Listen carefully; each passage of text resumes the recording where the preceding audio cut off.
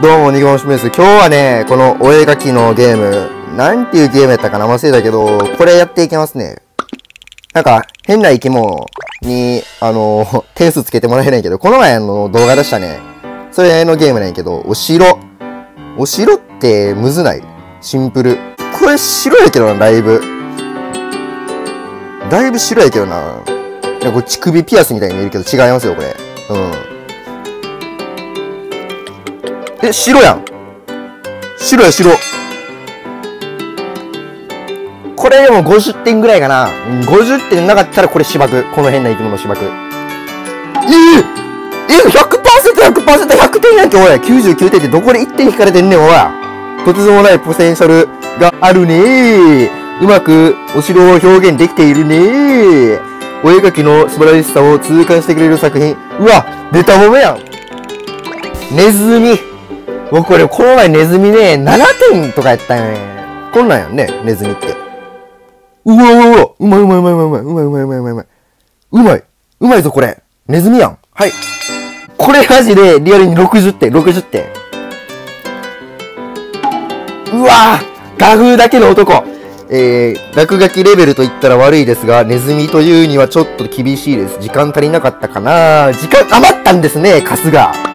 いや、さすがに100点取るまでは終われへんよねって話。人参僕100点取ったことないですわ。これで。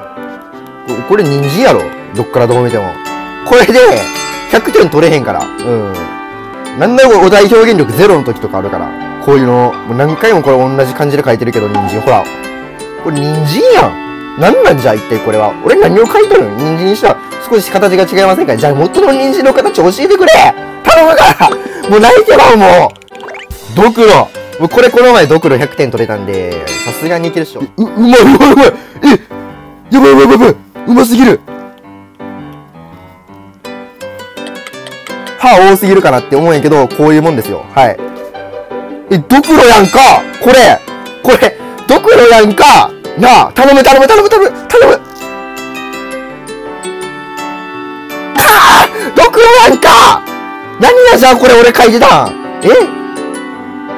ドクロ聞かなかったらことにします。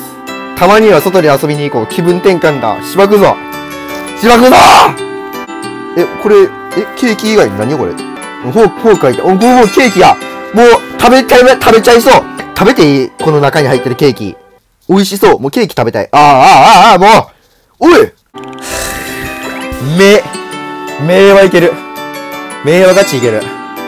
目はガチでいける。目俺何年変えてきたか。わからんやろ、ほんまに。うお目やこれ目やけど、さらに何つけたくすか化粧しちゃいます？うん。ちょっと、この辺に化粧しちゃって、な、涙袋もちょっとつけてあげて。あ、全然あかん、これ。あかん、よくないよくないよくない。ここ、ここで押さえときます。はい、はい、はい。目、目、目やろ頼む